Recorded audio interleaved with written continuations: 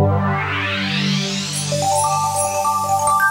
your Unit 2 definition question is going to be very similar to your Unit 1 um, definition question. Both have five marks on offer and for, for, for both of these you can structure your response um, in a very similar kind of way. So um, if you remember back to your Unit 1 definition, uh, five marks on offer, and you can actually pick up all five marks simply from um, writing a solid written definition. Okay, but if you want to guarantee yourself and the full five marks, then you want to include some other um, features to your answer. First of these is going to be um, examples and other technical terms. And make sure the language that you're using is very specific, it's specific to, to your Unit 2 concept, and you're including key technical terms. Right? So you don't need a definition within the definition, but um, these can be thought of as examples. So um, say, for instance, you were defining the term real income.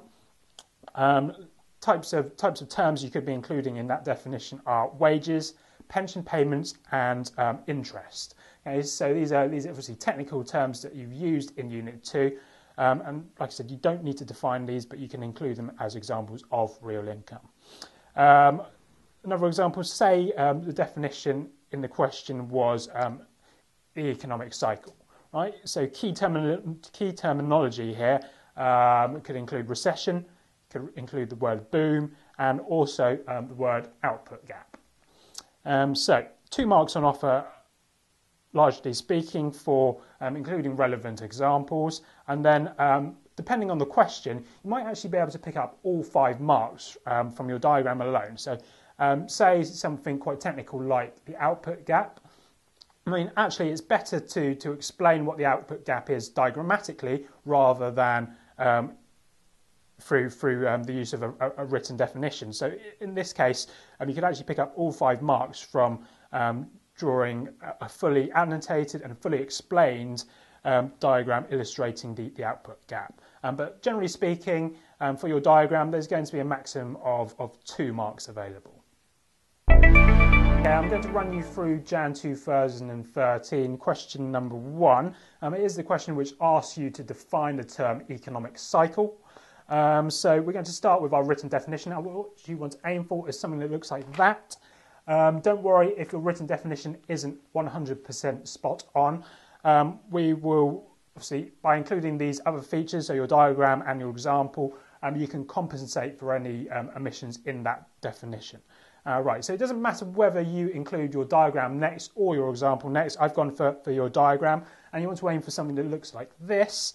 Um, so notice here your axes and your curves, they need to be fully labelled. So it's very hard to, to, to um, interpret how many marks exactly are going to be on offer for your diagram within this definition question. But I'd say um, as a bare minimum, you want to be picking up at least two marks for your diagram. Um, and what that means is that um, your axes and your curves are fully labelled. I think that's a fairly uh, reasonable task right? So axes and curves fully labelled. And actually in this question, um, the examiner is going to give you four marks in total for your diagram. So two marks, something that looks like this, and then a further two marks for um, labelling on your boom and your recession phases of the economic cycle. So four marks on offer there. And now I would go on to your example. So actually, I mean, just, just by simply stating um, what, the, what a boom is and what a recession is, Alternatively, you could use the word slump and recovery. You're also going to get a further um, one mark each for, for each of these examples,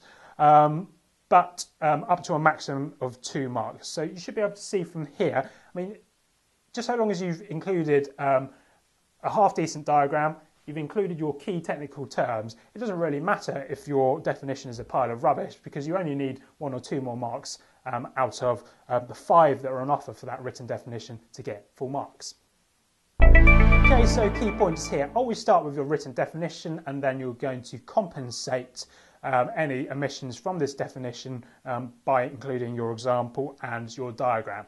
Okay, and remember these are really, really, really important, your diagram and, and your example. Um, I would always include I'd always include these two features, even if you don't think they're um, exactly what the examiner is looking for. Remember, there is no negative marking in any of this exam, so you want to be taking a formulaic approach, always including the same features um, for um, any, any question that you're looking at. So in this case, five mark definition question, always include your um, examples and always include um, a relevant diagram.